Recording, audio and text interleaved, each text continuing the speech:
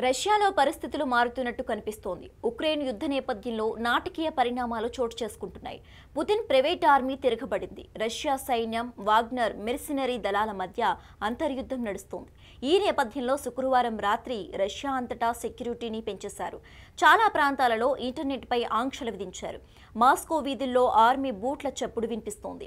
సైనిక వాహనాలు పెట్రోలింగ్ చేస్తున్నాయి.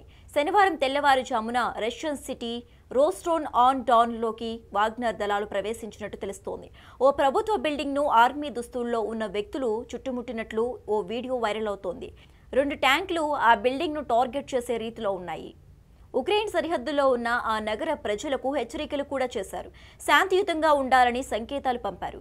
వాగ్నర్ మిలిటరీ అధినేత యువజేని ప్రిగోజిన్ రష్యా అధ్యక్షుడిపై తిరుగుబాటు ప్రకటించినట్టు తెలుస్తోంది.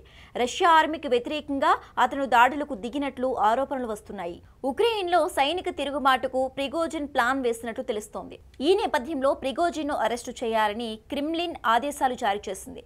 సైనిక తిరుగుబాటు కారణంపై విచారణ చేపట్టనున్నారు. సైనిక తిరుగుబాటు జరుగుతున్న నేపథ్యంలో రష్యా ప్రభుత్వం ఆపరేషన్ పోర్ట్రేస్ను చేపట్టింది. నగరాలను ప్రభుత్వ బిల్డింగ్లను కాపాడుకోవాలని రష్యా చూస్తోంది. ఉక్రెయిన్పై యుద్ధం ప్రకటించిన రష్యాకు వాగ్నర్ దళాలు చాలా రోజులు సహకరించాయి. కాగా ఉక్రెయిన్ యుద్ధంలో రష్యా కీలక విజయాల క్రెడిట్ వాగ్నర్ గ్రూప్కే చెందుతుంది. కీలక పట్టణం బుకుమూత్ను కూడా వాగ్నర్ గ్రూప్ ఆర్మీ గెలిచి పుతిన్కు కానుకగా ఇచ్చింది. అయితే ఇది రష్యన్ ఆర్మీకి కంటగింపుగా మారింది. వాగ్నర్ సేనలకు మిలిటరీ సప్లైస్ నిలిచిపోయాయి. ఫలితంగా చాలా మంది చనిపోయారు. ఇది వాగ్నర్ బాస్ ప్రిగోజిన్కు తీవ్ర ఆగ్రహం తెప్పించింది. ఇప్పుడు ఏకంగా తిరుగుబాటు జెండాను ఎగరవేసింది. ఉక్రెయిన్ నుంచి రష్యాలోకి ప్రవేశించిన ఈ ప్రైవేట్ ఆర్మీ మరికొన్ని గంటల్లో మాస్కోను తాకుతాయని రిపోర్ట్లు అందుతున్నాయి.